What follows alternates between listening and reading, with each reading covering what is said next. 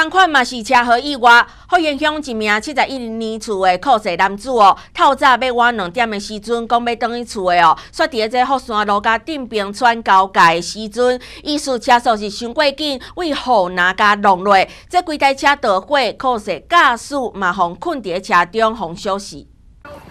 消防队赶到现场的时阵，规台车拢被大火包掉的，车是弄架变形开火，火势是为内面烧到外面。车顶的驾驶座搁拍到一个人，消防人。员是赶紧用水线来灌救。有个人，有个人。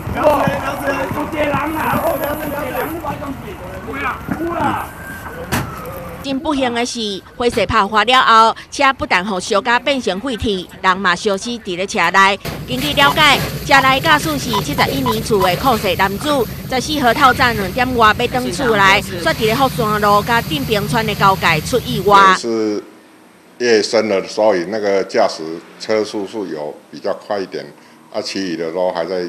现场楼下长达五十公尺的大洞啊痕迹，目前车祸真正发生的原因，阁需要鉴定调查。大中华新闻林桂英、复兴采访报道。